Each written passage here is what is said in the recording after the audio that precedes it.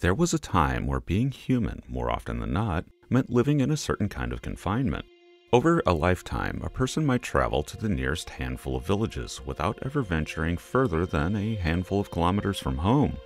But these humans no doubt wondered what lay beyond their horizon as they heard vague tales of mysterious faraway places. When humans did travel long distance in the past, it was painfully slow. Marco Polo's adventures traveling to and from China, starting in Venice, for example, took 24 years. Members of the ill fated Narvaez expedition of 1527 found themselves in the unenviable position of walking from Florida to Mexico, which took eight years, and out of 600 members of the expedition, only four survived.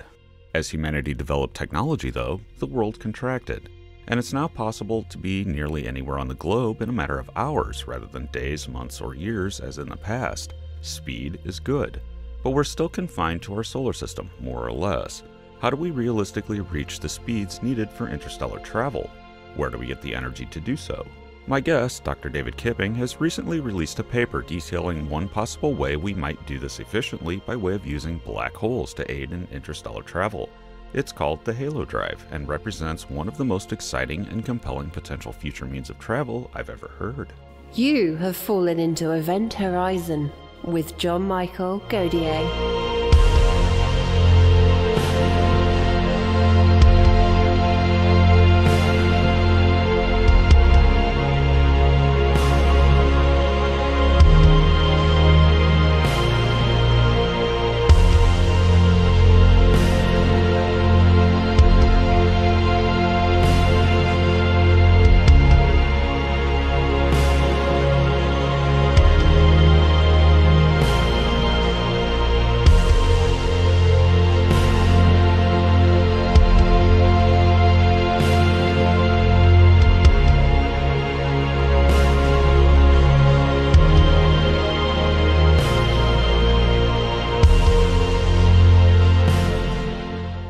Kipping is the Assistant Professor of Astronomy at Columbia University, where he researches extrasolar planets and moons.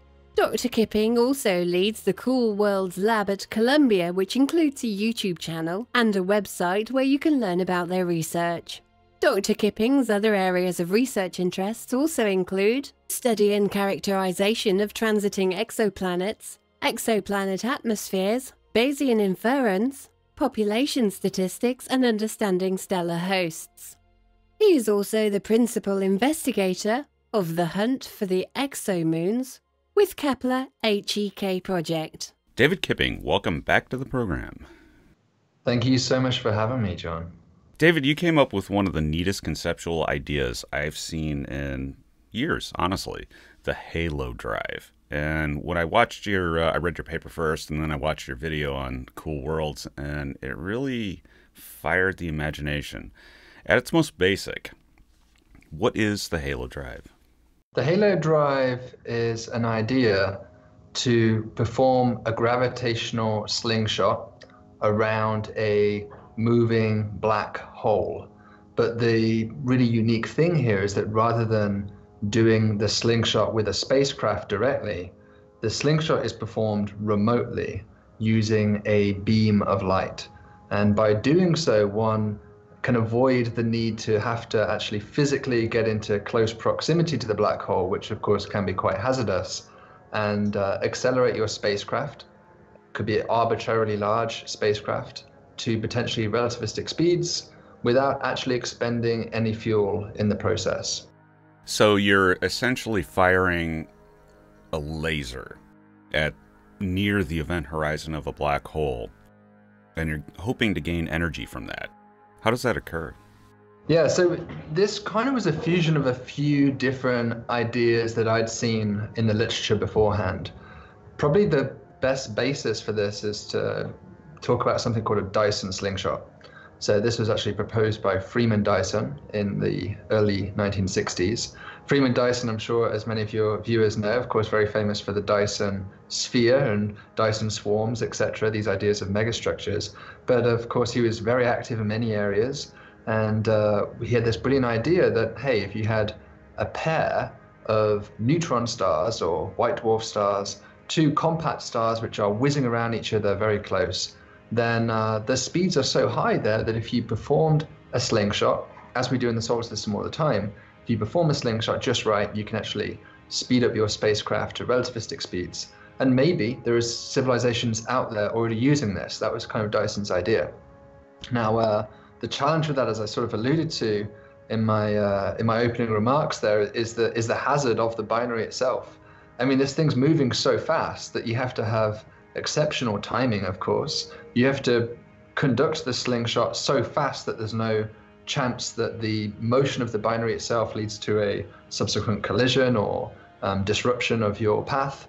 You have to avoid potentially a, a hazardous radiation environment. And of course, there's the tidal forces. As you get close to a black hole, as you probably have seen in uh, in science fiction films and things before, there's this idea of spaghettification, that uh, and we actually see that as stars fall into black holes as well. They become ripped apart by the tidal forces. So all of those things make the Dyson slingshot a brilliant idea, but ultimately a hazardous idea to actually uh, attempt in the real world. I, I, loved the idea though. I came across it on a blog and then I read the paper and I thought it was a, a beautiful idea. And I was thinking about ways that maybe we could do this more realistically. And then the other part of the puzzle, which really solved this for me, was this uh, wonderful paper by William Stuckey in 1993. And he showed that, as you sort of mentioned there, that if you fire a beam of light or a photon even just shy of the event horizon of a black hole, so not directly into the event horizon, just to the side, there is a specific geodesic you can choose that causes the beam of light to bend right around um, and thus behave like a mirror. And uh, the the idea of a gravitational mirror is kind of a fun idea, but it actually has a useful application here. If you have a mirror which is moving very fast towards you, then you can bounce light off it and use it to ultimately propel yourself. So this uh, we can talk about this maybe uh, a bit more down the road, but then this gets into ideas of like breakthrough starshot and those sorts of ideas they've been thinking about for accelerating spacecraft recently. So essentially, all right, you're you're firing a beam towards the event horizon and just skimming it off there, and it it sort of gravitationally warps around. And the light which you can't speed up light but you can add energy to light right? Yes. So you you are you are essentially blue shifting the light and it comes back to you more energetic than what left your spacecraft correct that's right that's that's how um, that's the slingshot component i suppose that the the fact the black hole was moving causes wants to cause the light to speed up as you said it can't speed up and so actually gains energy through frequency instead. So this all, altogether leads to three effects. One, when you fired your beam, you your spacecraft would have felt a slight momentum push in the opposite direction, and that's just by Newton's uh, you know law that every action has an opposite and equal reaction. So just firing a photon, even a, when you hold a, a flashlight and you fire the beam of light out of the torch, you do actually feel a very very slight push back in the opposite direction. And then when that beam of light wraps back round and comes back to you, it strikes your spacecraft, and that act of it striking you also causes then another push. So there's two pushes that have been applied to the spacecraft, and that's ultimately what causes it to accelerate.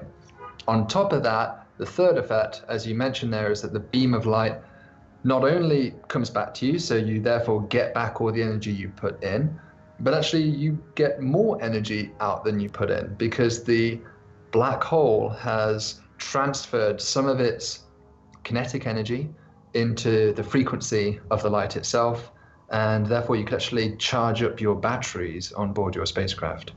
So you're talking about a moving black hole. So this black hole is is is transferring energy through its movement. Now, do you necessarily need a binary black hole that's, you know, moving at extremely high speed or can you actually use a singular black hole that's just moving through space? That's a great question. That's something I thought about a lot in this because binary black holes, um, whilst they are common, there are something like probably 10 million in the Milky Way galaxy, according to the latest statistics from LIGO. The, the requirement of a fast moving black hole um, somewhat limits you because of those 10 million, they're not all in the state of in spiral. Only a small fraction at any one time are, and those that uh, those that are in the state of in spiral and thus um, having these extreme speeds, they're short lived. They're actually in the process of dying, essentially. But at any one time, there is certainly a, a population of uh, nearly merging black holes in the galaxy. It's actually not exactly clear how many of those exist right now. That's something we, we should hopefully find out from LIGO. So it would be great if you could relax that assumption. And as you said, like, do you have to have a binary? Maybe you could make do with a with a single black hole. There's two ways you could do that. The first and the simplest one, probably to imagine, is that stars are not stationary themselves in the galaxy, and neither are black holes. They have their own peculiar motion through the Milky Way galaxy.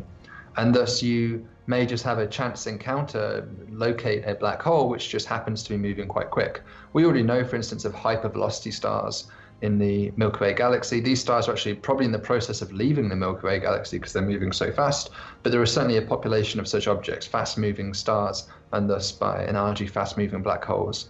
Um, so that could work. The probably the more appealing way to do this, and this is something I really only touch on briefly in my paper because frankly the mathematics is quite formidable to, to really calculate this properly, is the idea of a spinning black hole.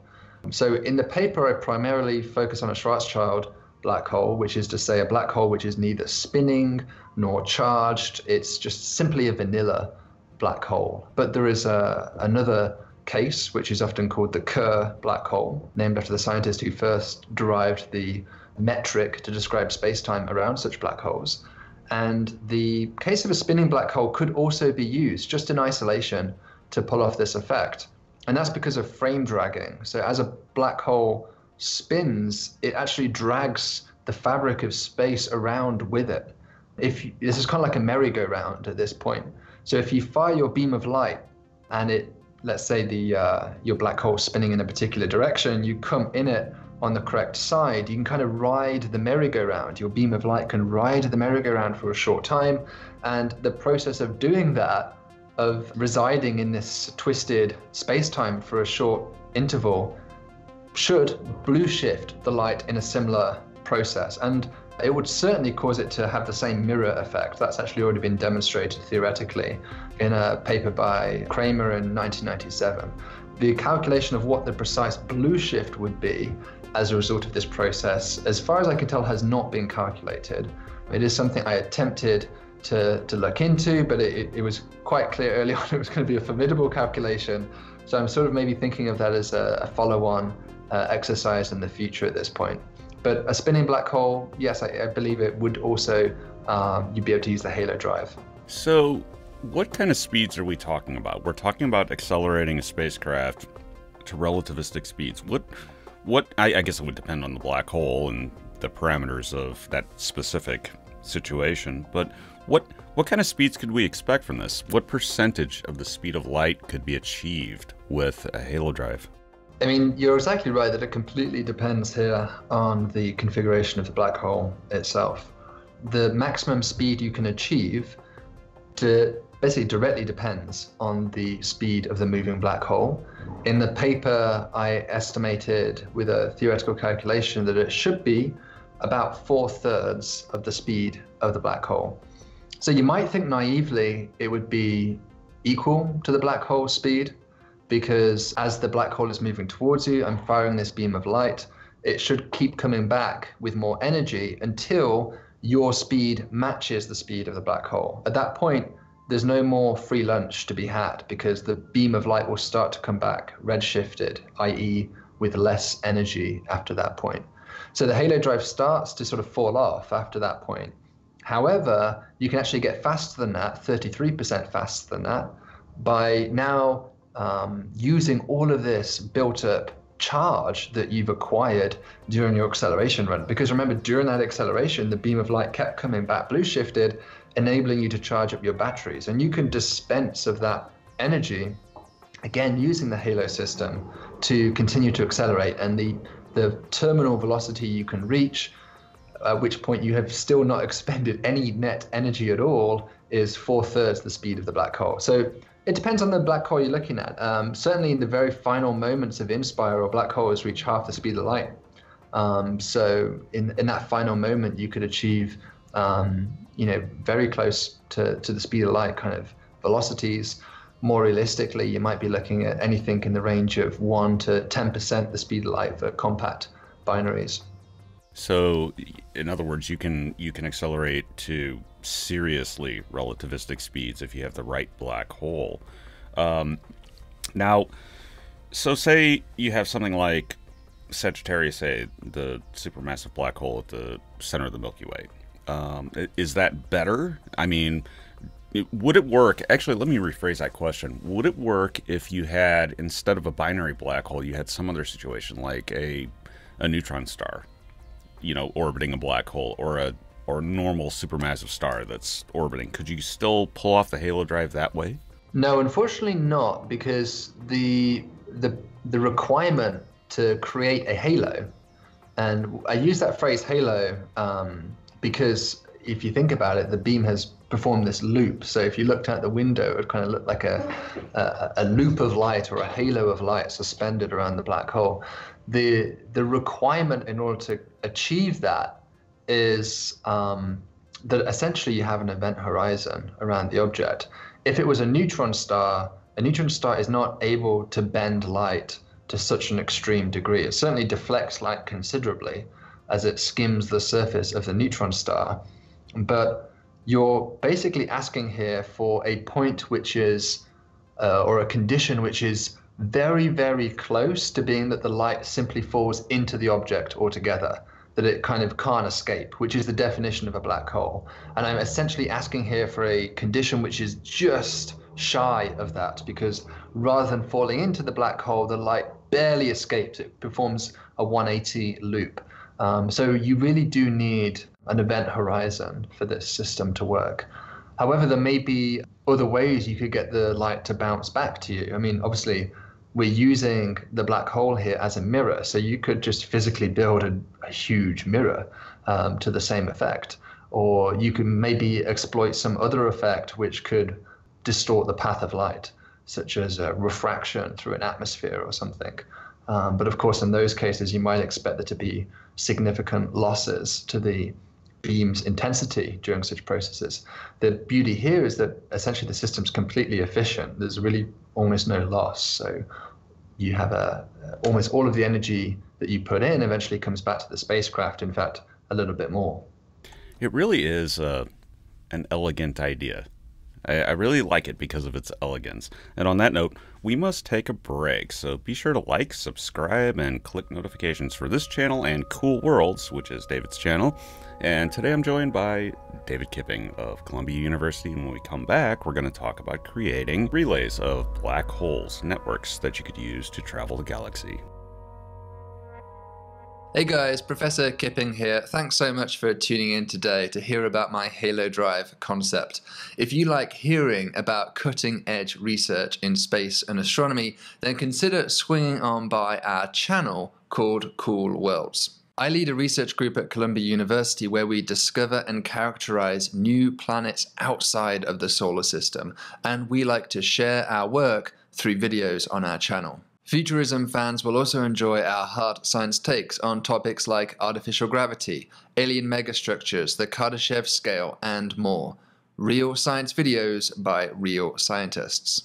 So thank you again for tuning in today, and I hope to see some of you over there at our channel, Cool Worlds. And we're back with Dr. David Kipping. David, now, the thing about black holes is that you're dealing with a really, really, really massive, massive object that could accelerate not only a spacecraft, but you could accelerate a planet if you really wanted to. Now, accelerating a gigantic spacecraft at relativistic speed, something that, say, it has the mass of Jupiter, would be no problem for the Halo drive, right? Yeah, that's right. I mean, this is kind of the one of the major advantages I would say of this of this approach. The only requirement that you really have here is that the mass of your spacecraft is significantly lower than the mass of the black hole. As long as you have that condition, it doesn't really matter how heavy the object is. It could be a gram mass spacecraft or it could be a Jupiter mass spacecraft. It will still feel the same effect. Of course, the total time that you might need to accelerate for or the intensity of the beam would have to be modified accordingly. But overall, there's still a net zero um, in fact, a net energy gain for the for the for the spacecraft or the planet which is being accelerated. So as long as that as long as that's true, then it really doesn't matter um, how big your object is. So you know that's kind of appealing because when we talk about accelerating with the Breakthrough Starshot, for instance, and we talk about accelerating with a beam of light, a gram mass spacecraft, you're talking about terajoules of energy in that case that's huge. That's sort of running a nuclear power station for an hour or two at a time, and then somehow storing that energy just to accelerate one gram. If you want to accelerate a space shuttle, which is about 2,000 tons, then you're talking about 100,000 years of running a nuclear power station for to sort of collect that amount of energy. So we really just don't have access to this type of energy level needed. Just the pure kinetic energy needed to accelerate these things is so vast. And thus, kind of the inspiration in part behind the Halo Drive was hey, if we can't generate that amount of energy ourselves, maybe we can steal it from an astronomical object, because after all, we are talking about astronomical levels of energy. And uh, these binary black holes certainly possess that. The one possible problem here is that we're fairly distant from the nearest black hole, thousands of light years away. So, what do we do to get to the black hole? Yeah, that's unfortunately uh, an unavoidable downside and the major downside of this system. My intent here was really to try and improve upon what Dyson had proposed before, but both in his case and in, in the Halo Drive case, if you're going to use astronomical objects to conduct your acceleration, then you have to be near to said astronomical objects to do so in the first place. So the analogy I kind of like to use here is like um, these these binary black holes or these spinning black holes, which are distributed presumably throughout the galaxy. They they could perform, and maybe we'll talk about this in a moment, sort of a highway system that you can essentially ride uh, in between the galaxy. But to ride that highway system, you have to pay the one-time fee, the toll fee, to get onto that highway system, and that fee represents the energy cost to reach the nearest said example.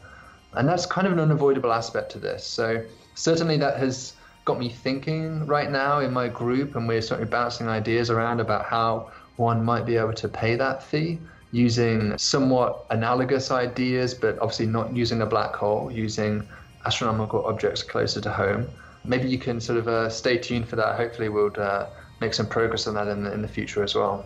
So, all right, we we we were talking about this concept of the Dyson slingshot using you know binary star system in order to accelerate and in this case accelerate towards a black hole. Now, there's an elephant in the room. The closest star system to us is a binary star system, Alpha Centauri. Is it possible to use that to sort of slingshot using Dyson's method towards a black hole where then you, you know, transition over to the Halo drive? Sure. Yeah, you could certainly uh, use you know a more conventional slingshot, not the Halo drive, but just a conventional slingshot around planets in our own solar system or around um, a binary star. There's actually got me thinking. I made, I made a sort of a comment on this uh, after my paper came out. That if you were a civilization that was born around a binary star system, especially a compact binary star system, two stars orbiting fairly close to one another, those things are very common. Actually, about half of all sun-like stars reside in such systems. Um, then you would have kind of an advantage for interstellar travel because you could um, potentially achieve relatively fast velocities compared to what we can achieve by using the binary itself. However, the, it would not be relativistic because you know the, the sort of the fastest you can really steal off this is about twice the velocity of these objects, and if they're unless they're really compact objects like neutron stars or black holes, they simply can't achieve those velocities because as the object sort of as the binary merges and gets closer and closer, they start to be in contact with one another, and of course that immediately makes the whole thing unstable. Um, so in order to get these things so close together, in order to achieve those very fast velocities, you really need a very small star, which is to say a compact star. So it would certainly help. It might give you a big boost to, towards your destination, but it wouldn't it wouldn't be competitive with the kind of energy you could steal from a binary black hole. The other problem is is that once you're you use the binary black hole to achieve relativistic speeds, you have to be able to slow down. But you could also use the halo drive if you have another black hole that you're heading towards in order to slow down, right? Yeah, that's right. And it's um, a bit more relaxed in terms of the criteria there. You actually don't need a binary black hole to do that. It could be a completely stationary black hole. And you can essentially just use the same effect by throwing light to this object. Um, you could potentially speed yourself down in a, in a similar way as to the acceleration process. It's just sort of reversing the direction in which you fire the beam. So that would, in a way, what you've really done is you've taken energy from one distant binary black hole and moved it somewhere else in the galaxy to another black hole or another binary black hole, if you like. And uh, in that way, you have conserved energy. Uh, no energy was really lost during the process. It was just moved from one star system to another. So you're simply transferring energy. Now, say you were on the spacecraft and you were accelerating away from the black hole, a black hole. What would it look like? What would you see? Would it, as as you know, this halo of light that would result from uh, doing this method? Yeah, that's an interesting question. The uh, I I didn't really have the I didn't spend too long uh, thinking about the visualization or, uh, or, a simulation of what this beam of light would really look like as it loops around. Um, the calculations in the paper are mostly based off sort of looking at the geodesic of light. Um, rather than sort of doing like a Hollywood simulation of the visual effects. To my mind, you would have this um, point like beam which you're emitting that would loop round the back and uh, come back to you. Now, in an ideal world, I suppose you wouldn't even really see the beam. Because if you could see the beam, that would imply that it was scattering in a medium, such as dust around the black hole or something. And that, that's not good. I mean, this is actually sort of a relevant point to mention that some black holes have disks around them, uh, which is to say they have plenty of material around them. And that material would get in the way of the beam, and you kind of don't want that. Yes, it might make for a flashy light show of having the beam strike this material and light light itself up, but it would um, it would actually be bad for your halo drive system because you're now losing a lot of energy to the medium. So in an idealized case, you really shouldn't see the beam at all. It should just sort of loop around, come back to your spacecraft, and um, push you gent- fairly gently. I mean, kind of the rate of acceleration would be completely up to you. You can control it. And typically, the sort of distance that you want to be to to make this work is something like 10 to 100 times the event horizon radius of these black holes. And the reason for that is if you get much further than that, if you start being thousands or tens of thousands of uh, Schwarzschild radii away, then what happens is the beam is traveling on such a long distance that it starts to diffract and starts to spread out. Um, if that happens, then you're now losing a lot of your energy. So when you do this Halo drive system, you, you kind of want to be in close, well, not super close proximity, but relatively close proximity to the to the black hole, but still far enough away that you should be safe from the tidal forces, for instance, from the black hole. So this this this reminds you know to invoke sci-fi, you know, the movie Interstellar where you know you you bring someone from one point in the galaxy to another point which happens to be a black hole using a wormhole. But the halo drive seems far more realistic than that that it's not as it, there's actually nuts and bolts physics here that that that actually allows it to happen. Now if you used the black hole all right to accelerate the spacecraft. Does this happen in nature? Meaning that because a black hole, you know, obviously warps the. Say it has an accretion disk, and that accretion mm-hmm. disk is very active. Does it do the same thing to the light from the far side of the accretion disk? I mean, could you put a solar sail right next to a black hole or, or close to it and actually see an acceleration from just the accretion disk? Yeah, that's a really interesting uh, thought, and it's actually something I, I, I, certainly have been thinking about in relation to this idea. So, um, in particular, I was sort of asking the question: well, what if you had a isotropic field of photons, or even just a particle field that's passing through the system? What would happen? Now, what happens during the halo drive is that these these particles, or the spacecraft in this case, is accelerated and thus it has stolen energy essentially from the binary black hole. And that's not a free lunch. That that actually causes the the binary black hole to very slightly merge together, to lose some of its gravitational energy and come a little bit closer to, to itself. So, what would happen if you just had a not a spacecraft, but just particles or, or a radiation field in a system like that? I think that it would um, be kind of uh, similar to like a photon gas, if you like. It would actually act as a drag force on the binary black hole and cause it to inspiral very slightly quicker than it would do if it were in a perfect empty universe. So um, this is kind of interesting because you know one radiation environment which is all around us is the cosmic microwave background, the leftover radiation from the Big Bang. Now it's pretty pitiful right now. It's only about 2.7 Kelvin. Um, it's very difficult even to detect in a way. But uh, in the early universe, it was it was much hotter and much more um, significant. And it may have been that primordial binary black holes were um, sculpted in some part by this more intense radiation environment than what we have now. So it's actually something I've been sort of thinking about and maybe playing about with a follow-up paper for this is to calculate the effect of just um, of just not spacecraft but just a natural environment, how it would impact the evolution of a binary black hole. Yeah, it's interesting. It, it brings in questions of of natural pressure. You know, so say you have a, a meteorite or some, or well, a meteoroid or something like that. You know, could could things be pushed at a certain distance away from the black hole by just the natural light pressure present? Mm-hmm. Yeah, I mean, I, I think the, the the very subtle thing as to why this this this might be expected to lead to a decay of the black hole is that for you can imagine our binary having two exactly opposite meteorites coming towards it to use your analogy so you have one that's coming in and being accelerated because it's heading towards a black hole which is moving in an opposite direction to itself and thus it should um, perform a slingshot and gain energy as a result it kind of bounces off the bat if you like bounces off this moving wall and speeds up um, on the other side, you have a meteorite which is going the opposite direction, and it's moving in the same direction as a binary, uh, as, as the black hole component. And thus, it's kind of trying to catch up with it. So when it bounces off, it bounces off very gently, and in fact, actually loses energy in the process. So you have e- equal and opposite, you might think naively, reactions happening.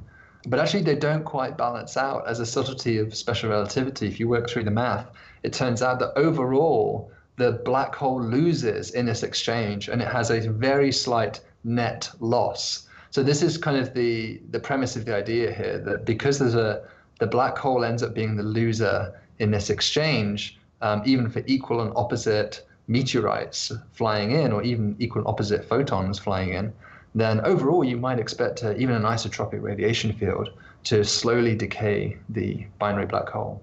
Interesting. So by stealing momentum, you ultimately, eventually, over very long periods of time, you destroy your own travel system. You you've stolen all the energy of the black hole. Yeah, that's right. The I mean, one of the possible techno signatures of this system. Imagine there is a civilization out there which is actively using this, and that was always kind of what I had in mind. I mean, uh, it'd be great if one day we can do this, but it, it certainly seems some way off from us doing this tomorrow.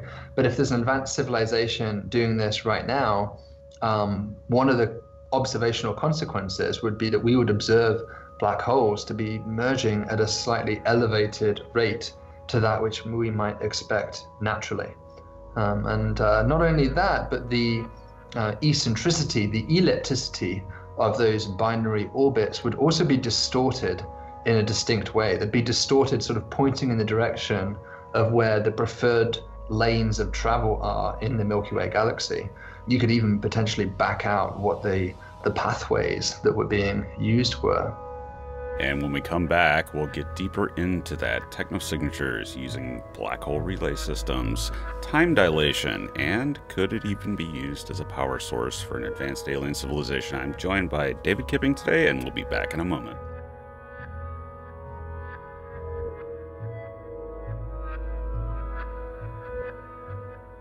If you'd like to support Event Horizon, you'll be pleased to know we've recently launched a Patreon. Link in the description below. Or alternatively, you can use your cellular telephone to scan the assemblage of squares on screen now. Be sure to like, subscribe, and share the video. And now, back to John. And we're back. David, so if let's talk about multiple black holes and creating a relay system to sort of traverse the Milky Way. If you have a halo drive and you go off in one direction and you need to slow down and make a stop at another black hole, then can you use that black hole to accelerate to another one and create a sort of relay system, a transit system of the Milky Way? Absolutely. Yeah, that's um, one of the appealing aspects, I think, of this, that the each binary or um, let's even ex- say not only binary but also spinning black hole is essentially a waypoint station where you can both use the rotational energy to brake and also to accelerate. You can not accelerate in exactly every direction you want to go in. Uh, you can't accelerate in a direction which is perfectly perpendicular to the plane of the orbit, for instance. But you can uh, accelerate to um, more or less any other direction you want. The optimal will be in the direction of the plane itself, but it's quite possible to accelerate out of the plane. You just won't be able to steal quite as much energy by doing so. And thus, uh, this raises the possibility that perhaps there is a civilization out there which is leveraging this system. And of course, the appeal to them would be that it is economically very attractive because it doesn't cost any energy at all to use it. So, presuming even if they invent a, a means of traveling to their nearest binary black hole with an interstellar drive of some kind, let's say a fusion drive or something, that's still going to have to expend fuel to get to that first example. So the, the great appeal here is that even though you've invented a way of doing that, you have this f- completely free, essentially, highway system from your perspective that you can ride and move across the galaxy, even very large masses. So as long as you can get to the black hole, you're good to go. After that, you have no, you essentially have free acceleration energy. Yeah, yeah, that's right. So that kind of raises the question about how one would potentially detect such a such a civilization, and uh, that that's not going to be easy. This is this is by design an extremely efficient system, which means no losses, and it's those losses that are ultimately a means of us potentially detecting other civilizations. So it's uh, even if a civilization is using this, it's, it's kind of subtle as to how you would see them. So, but what about secondary technosignatures here? So you have a civilization that's using black holes to traverse the galaxy, but they might also be producing radio signals or something like that that could be detected, radar even. And that might make black holes an attractive SETI target, right? Yeah, I think so. I mean, the the fact that these are waypoint stations, um, if you think about how uh, human civilization sort of played out, that all of the central trading hubs tended to be at natural waypoints. And thus, it's not unreasonable that if these are indeed places where people are conducting acceleration and deceleration, then there may also be, um, uh, a, you know, other types of technology around those black holes as well, of, of whatever type it is. So this isn't this isn't just isolated to the halo drive, by the way, as well. I mean, before myself, many others have pointed out that there are numerous advantages to black holes for an energy hungry civilization. You can essentially just throw your trash inside it, and out comes out pure energy. So, um, either through Hawking radiation or by um, exploiting the jets, you can even do something called the Penrose process with spinning black holes. Um, there's, a, there's actually a number of ways of extracting energy from spinning black holes. So there's there's numerous ways in which you could essentially either harvest the energy of the black holes that's already there or convert mass directly into energy around these places. And that's unique. There really isn't anywhere else in the universe you can do that apart from a black hole. And so I think it, it totally makes sense that we should be considering black holes as potential seats for advanced civilizations. In other words, maybe a solution to the Fermi paradox is we're pointing the radio telescopes at the wrong objects. We're looking at star systems when we really should be looking at black holes. Just simply because, I mean, imagine just the sheer amount of energy coming off a black hole's relativistic jet. You know, imagine just the mm-hmm. massive amount of free energy that's available from that. So a civilization could basically park itself next to a black hole and say, well, we don't need our star system anymore. We can just abandon that. And we're going to just take advantage of this giant energy production object, and uh, we can exist for billions or trillions of years until the black hole actually evaporates. So it would also be quite the sunset, right? now, or black it, hole set, it I would. suppose. yeah, it, well, the black hole set. That was one of the interesting things about Interstellar was that they they as a matter of fact, I think Kip Thorne was one of the the producers of it. Then they thought, well, what would this actually look like? You know, a black hole with a, an accretion disk, and it really was a compelling image, at least. Yeah. I don't know, yeah. you know, I guess we're gonna. I guess we're gonna find out what what it what it really looks like with the Event Horizon Telescope project. But um, but it really is a compelling thing because that's a lot of energy concentrated in one object. Now, when you travel at relativistic speeds, say you're, you've accelerated via your halo drive, you run into the problem of another cost: time, time dilation. So, say you're traveling at 80% the speed of light. What would time dilation be like as you leave your black hole? Um, at, I mean, 80% of the light is is very fast. At that point, you'd be seeing time time dilation on board the spacecraft by a factor of um, just doing the math here quickly. I think it would be about 1.7 times slower. Your clocks would be running about 1.7 times slower on board the ship. So that's not actually, um, you know, when you watch Interstellar, they talk about every, what is it, every day being like seven years or something like this. It's like a, it's like a very extreme ratio. Of course, that's a gravitational well in that case that's causing the time dilation, not velocity. But in order to get that, that's that's kind of a very sci-fi idea to get that level of time dilation. Um, you really have to be traveling at 0.99999 sort of c for this to become something that um, is becoming kind of a mind-bending concept. And certainly, if you're traveling at the type of velocities that the Halo drive is is really permitting, I'd say that's more in the range of 10 to 20 percent at best. Then that that's a very modest time dilation factor. Actually, it's only about two percent for a uh, traveling at 20 percent the speed of light. So this is not going to be something which completely affect you know affects your your your twin on the other side of the galaxy, you guys would more or less be aging at still more or less the same rate. It's a fairly modest effect. So somebody after 80 years, somebody might look just a little bit younger, and that's the that's the extent. I'd still take it. I'd still take that two percent if I was offered it. you know, though, the the thing is, one of the questions, uh, highly speculative possibilities with an advanced civilization is that you could manipulate the the um, the rate at which your mind perceives time.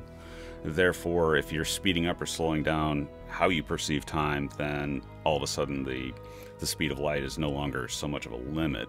But in this case, if you're going 80%, it's not much of a limit at all because time dilation is not that pronounced, I guess you you could say.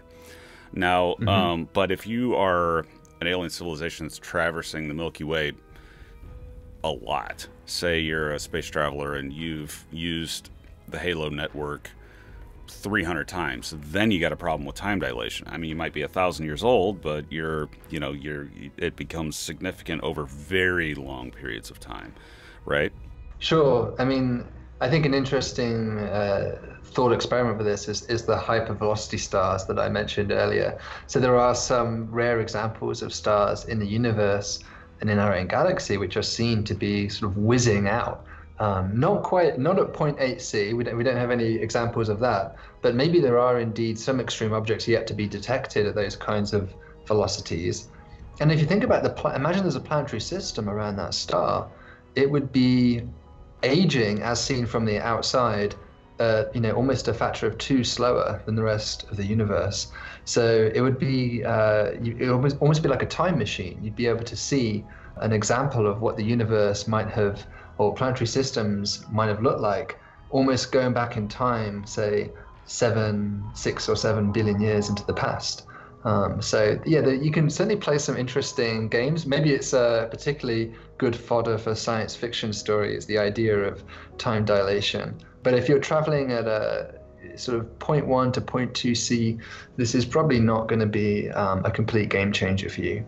So ultimately, what is the time frame? Do you think? I mean, if if we decide to go and take advantage of this Halo Drive system, and we, you know, we, we, we trudge off to a black hole, how far in the future is this? How you know how when would the human species be able to take advantage of this? Um, yeah, that that's difficult to to make a a certainty degree of guess about. I guess I would say that um, the the Halo Drive offers an extra incentive, if you like, to trying to reach the nearest star or the nearest stars around us. Because once you can accomplish that, it's not that much harder to actually traverse the entire galaxy using such a system.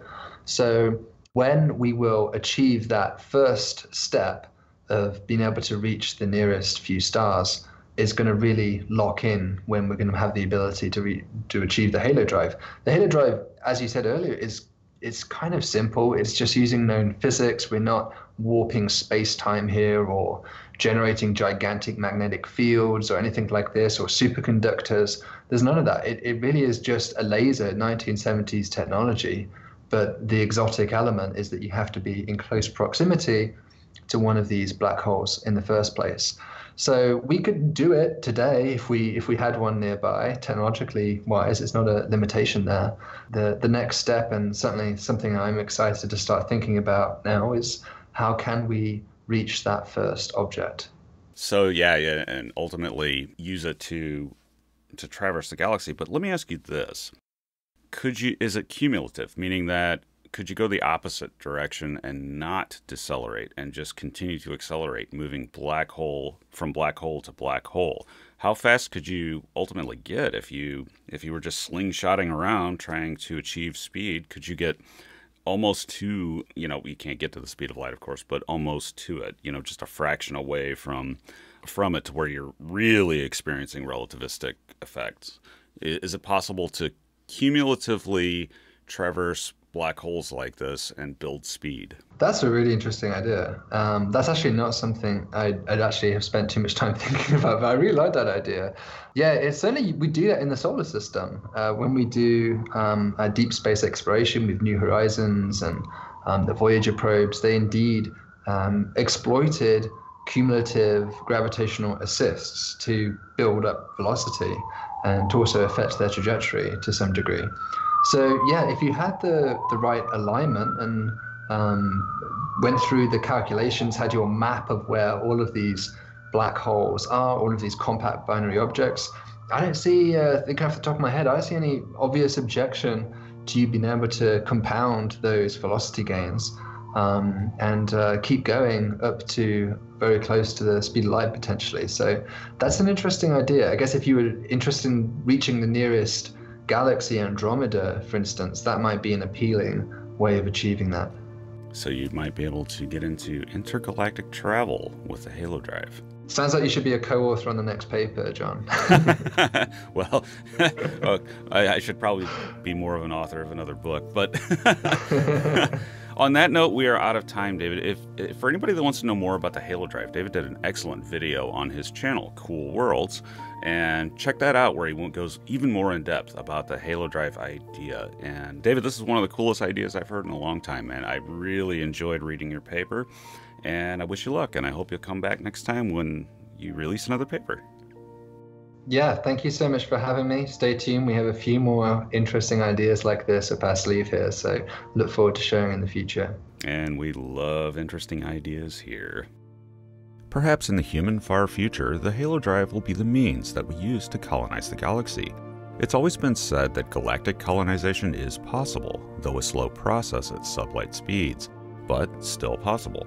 And one of the mysteries of the search for extraterrestrial intelligence is why anyone hasn't done this yet. The Milky Way is well old enough for someone to have done it many times over. Perhaps we are simply looking at the wrong galactic real estate. Maybe quiescent, long lived stars aren't where civilizations ultimately go, and our SETI searches should instead be focused on black holes.